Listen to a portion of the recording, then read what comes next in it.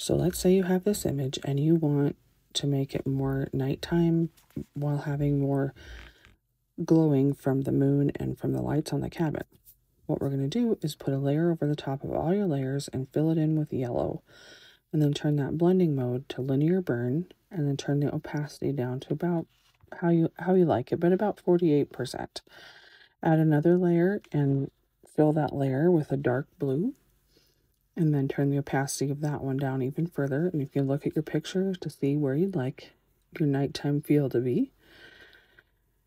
And then I'm going to put that blue layer into a mask and it'll turn this white spot here and then you'll, the color will automatically turn to black when you do this. Then I'm going to pick my soft brush.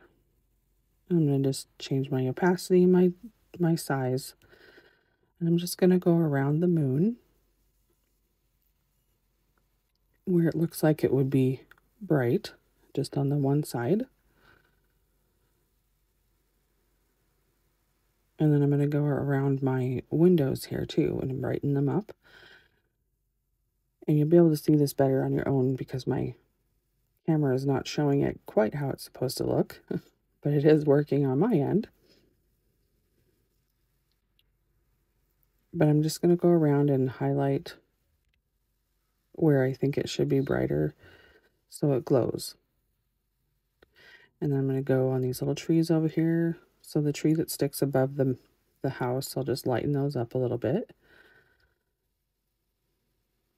And then the edge of this tree the whole way down. And a couple spots on the ground I'll highlight.